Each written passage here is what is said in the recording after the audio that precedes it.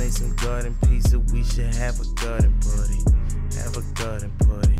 If you all in I just made you garden pizza. We should have a garden party. What's going on, Let's have a fam? Welcome back to Bake & Bars. Every month I'll be showing you something cool to do with an Ooni, and today we're making garden pizza. All right, starting with the sauce.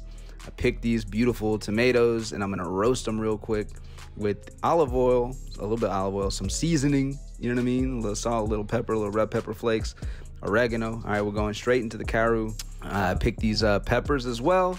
You know the garden's looking nice, fam. I mean, it's summertime, baby. So let's get that let's get that garden energy going. All right, I'm gonna hit those on the grizzler pan with a little bit of olive oil, uh, just so they can get nice and flame roasted.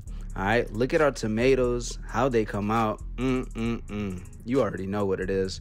All right, next up we've got a zucchini.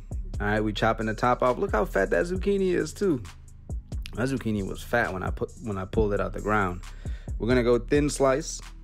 All right, we're using a little bit of olive oil, a little bit more of that seasoning I made, which is just salt and pepper and oregano and red pepper flakes, garlic powder. It's beautiful. All right, we don't want to cook it too much, the zucchini, all right, because it's gonna go back on the pie. Now we got the dough.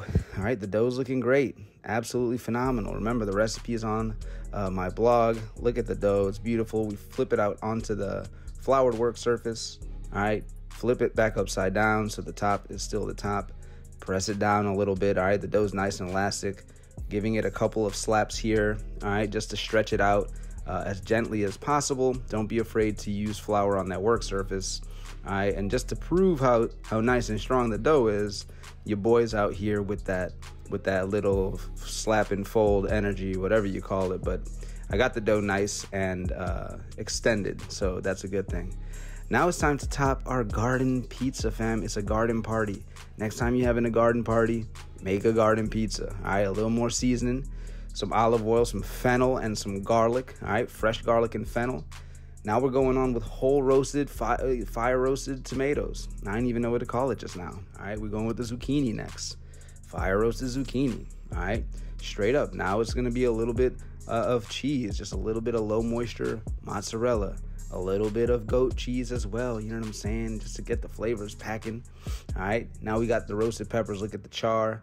Leaving the skin on, leaving the seeds as well. Just be careful because if you put too many of them seeds on there, you're gonna get got.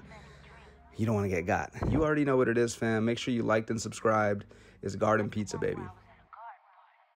We about to harvest some veggies, nice and ripe. Just look at them cherries. It's a garden party, fam. Follow along for the recipe. First, I'ma pick up a squash, give it a wash, chop top off. Then I'ma slice it up thin, salt and some pepper you leave on the skin. My tomatoes is luscious, slice them in quarters. Just look how gorgeous. Now we making a sauce, roast them in the oven till the skin gets soft. Olive oil and seasoning, simmer till that shit start weakening. Making good pizza take reasoning. Dough's in the fridge fermenting. To know when it's ready, use my instinct. I use sourdough to make it distinct.